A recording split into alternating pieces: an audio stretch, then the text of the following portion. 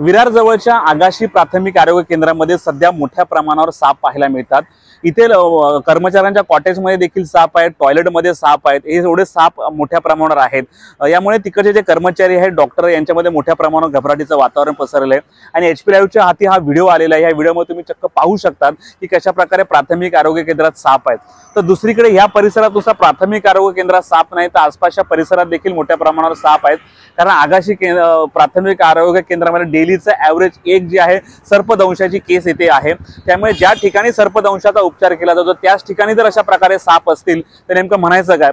कदाचित असंही होऊ शकतं की सर्पदंशाचा उपचार करायला आल्यानंतर पुन्हा एकदा साप चावला. त्यामुळे तुम्ही जर येत्या काळात आगाशीच्या प्राथमिक आरोग्य केंद्रात उपचारासाठी जात असाल तर स्वतःची काळजी घ्या. तिथे जाताना तुम्ही आजूबाजूचा परिसर तपासणी करा कारण तुमच्यासोबत देखील अशा प्रकारची घटना होऊ शकते. ह्या एवढे साप जे आहे ते आले कुठून? हा प्रश्न आता उपस्थित झालेला आहे. कारण आगाशी हे एक छोटंसं गाव आहे आणि मागचा परिसर जे आहे मोठ्या प्रमाणावर मोकळा आहे.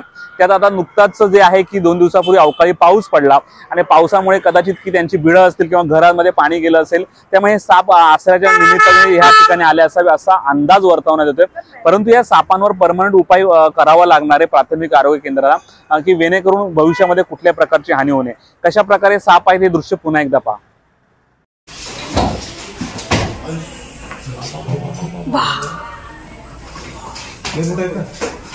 OMG.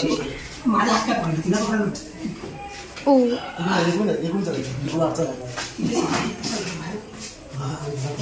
इकडे इकडे इकडे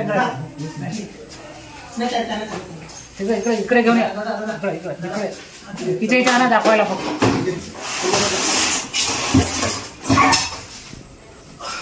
हो दादा इकडे घेऊन या जाऊन.